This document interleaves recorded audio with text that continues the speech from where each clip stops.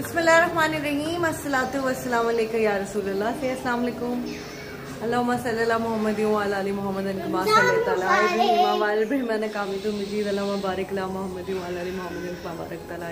मजीद जी जनाब मेरी प्यारी बहनों प्यारे भाइयों मैं मुझे घर का टूर मैं दिखाऊँगी आपको इंशाल्लाह ये थोड़ा सा मैं आपको लाउंज अपना दिखा देती हूँ। मेरी बहुत सारी बहनें मुझे जब से रमज़ान स्टार्ट हुआ है सब मुझे कहते थे आप हमें दिखाएँ दिखाएँ कि आपकी इफ्तार कैसे होती है इफ्तार कैसे होती है।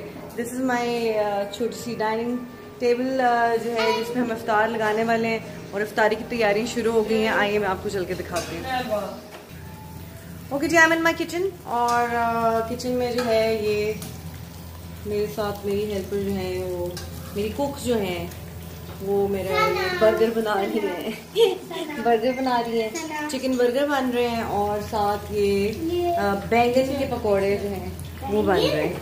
बैंगन के और ये है आलू के। बहुत ज़्यादा नहीं हो गए आलू के पकोड़े?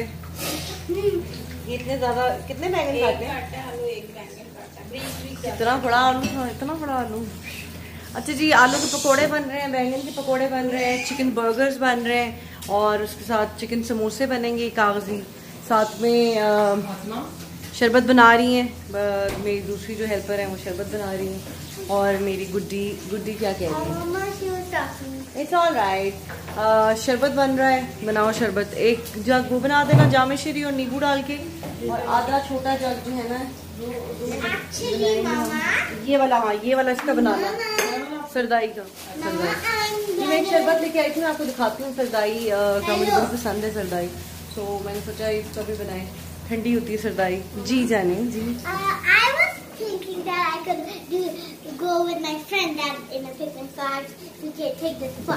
ओह she is planning to go to picnic और ये बॉक्स डाइट बाई डिज़ाइन मेरा भी वो इफ्तार भी आने वाली है और uh, फिर मैं जैसे ही इफ्तार लगाऊँगी टेबल uh, सेट करूँगी आपको बताऊँगी आज मेरी हिम्मत इतनी ज़्यादा नहीं है वरना मैं इनके साथ ही खड़ी हुई हेल्प करती हूँ। आज थोड़ा रोज़ा गर्मी ज़रा प्याज का एहसास ज़्यादा हो रहा है। इफ्तार से पहले ज़रूर दुआ किया करें जी जाने। अभी talk about it later two minute हमारी बातें भी चलती रहेंगी मैं थोड़ा सा वेट करती हूँ और जैसे ही इफ्तार की टेबल लगती है वो मैं आपको इंशाल्लाह दिखाऊँगी। अपना बहुत ख्याल रखें। विल बी राइट बैक जी ये देखें आ, कितने मज़े की ये पकौड़े लग रहे हैं। पकौड़े तैयार हो चुके हैं। जग भी दिखाओ शरबत वाले मेरा। ये भी तैयार हो गया बर्गस और जैसा कि आपको लग रहा होगा कि मेरी एनर्जी इस वक्त कितनी डाउन है। आखिरी, ये लीजिए, शरबत भी तैयार हो चुकी है। ये है नींबू वाला शरबत जामे शीरी और ये है सरदाई और दूध भी पीते हैं अक्सर कभी कभी हम लोग अगर दिल करे तो। मुझे दूध ज़्यादा नहीं पसंद बिकॉज़ मुझे लगता है हैवी हो जाता है वक्त करते हुए। अंडे भी फ्रिज में रखो। सो बाकी जैसे ही मैं अभी ये लगवाऊँगी इफ्तारी, फिर उसके बाद मैं आपको दिखाऊँगी। और ये रोज़ा चोर ऐसे होते हैं बच्चे। This is my iftar today I keep it simple और उसके बाद कुछ खाना पीना होता है। जी आपकी भरपूर फरमाइश पे फाइनली मैंने दिखाई दी है सादी सी अफ्तारी हमारे घर में होती है।